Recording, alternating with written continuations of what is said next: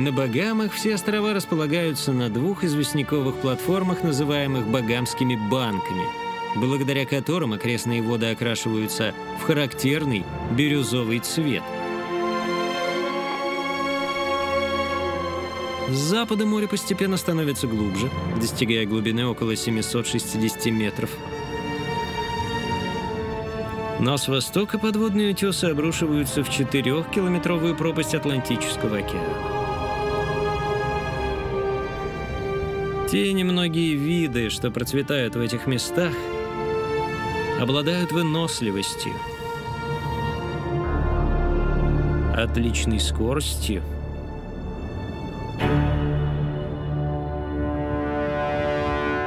и способностью глубоко нырять.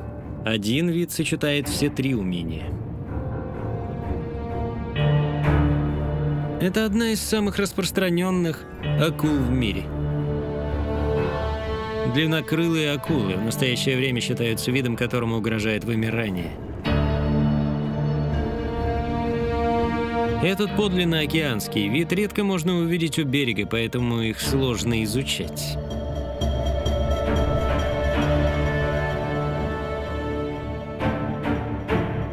Длиннокрылые акулы обладают характерными белыми пятнами на плавниках. А их закругленные грудные и спинной плавники заметно больше по сравнению с другими акулами.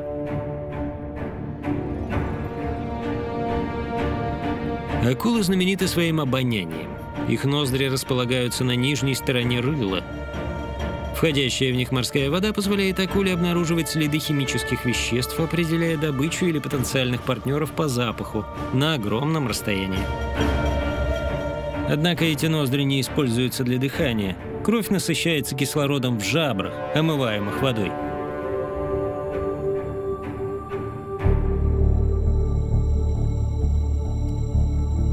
Рыбы-лоцманы – загадочные компаньоны длиннокрылых акул. Некогда считалось, что оба существа находятся во взаимно выгодном партнерстве. Но современные исследования говорят о том, что рыбы-лоцманы просто пользуются акулой.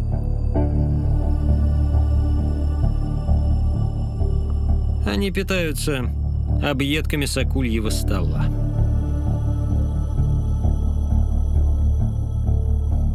а также пользуются тем, что акула преодолевает сопротивление толщи воды, держась за ней и экономя силы. Так как свидетельства какой-либо пользы для самой акулы отсутствуют, споры о том, почему акулы не едят рыб лоцманов, продолжаются.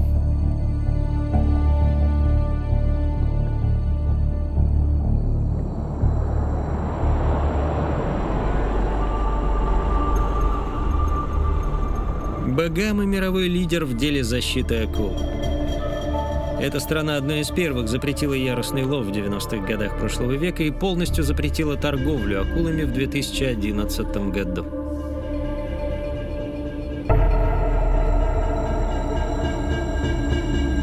В результате это место у острова Кэт дает ученым и искателям острых ощущений уникальную возможность встретиться лицом к лицу с этими непонятными созданиями – в эти воды приплывают кормиться десятки длиннокрылых акул.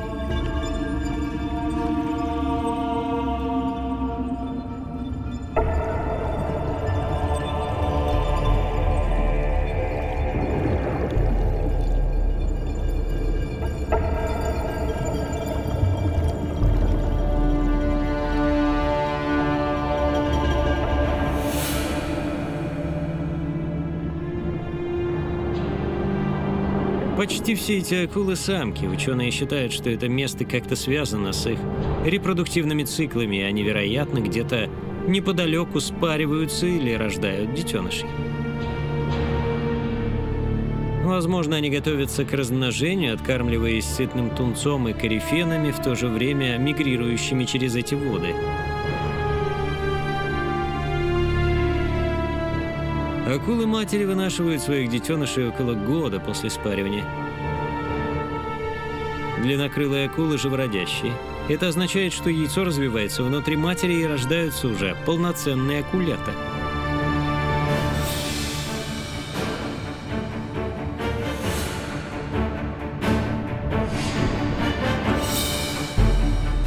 Эти самки демонстрируют, насколько агрессивными могут быть беременные мамочки, защищающие свою добычу от конкурентов.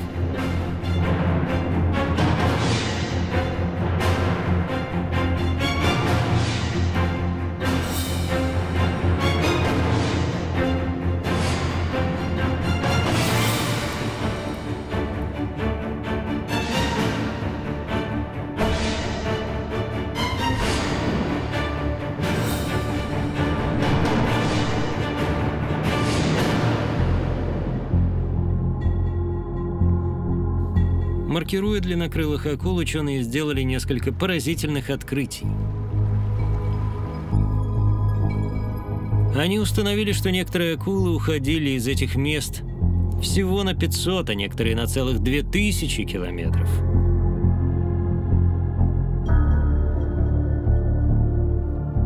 Вместе же они расходились на более чем 16 тысяч квадратных километров, но в среднем каждая особь провела две трети времени в тихих багамских водах.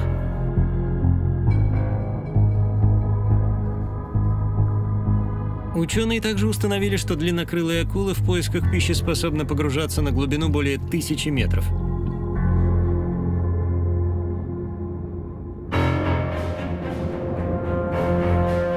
Они являются хищниками-полифагами – Обычно они плавают медленно, экономя силы, но в погоне за добычей способны развивать высокую скорость.